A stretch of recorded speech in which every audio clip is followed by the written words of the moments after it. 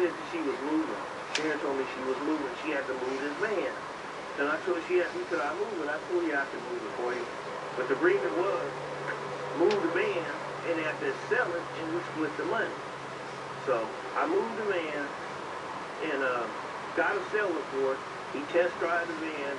So he checked the oil, so it was water in the oil.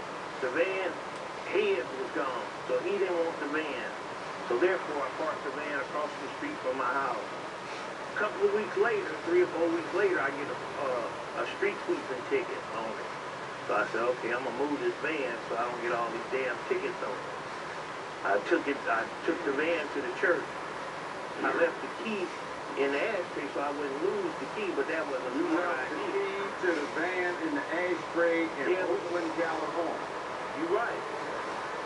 Somebody can get the car, anybody can walk up, there's a vehicle with the keys inside. Now obviously, the doors can't be locked because if the door left it down the church parking lot for several days running with the keys in the ashtray and the doors open.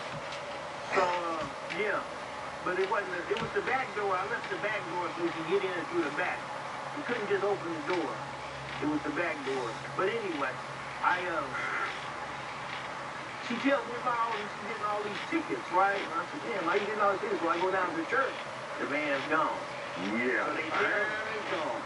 So they tell, it's, it's a, it's a program. It's a drug program down there. So somebody And one of the people at the church in the church's drug program decided, hey, you know, Exactly. I got the word of the Lord. Let me go out here now that I'm saved. I'm not a sinner any longer. The Lord's providing for me. You in mysterious ways.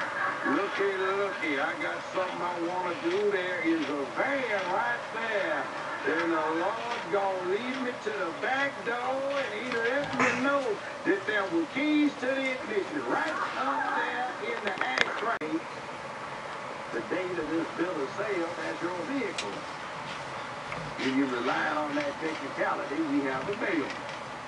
So you're stuck with that, so you have to pay her. Even nothing, done deal, no suspense.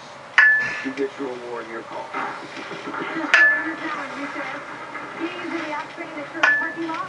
The defendant thought God would take care of it for him. Well, like the Almighty, Judge still give it and took it away. He take it from the defendant and give it to the plaintiff. And now we're on to the next. Please raise your right hand. Plaintiff Kelly Williams is suing Rex Murray for back rent and property. Defendant Mariah Miller claims the plaintiff was never on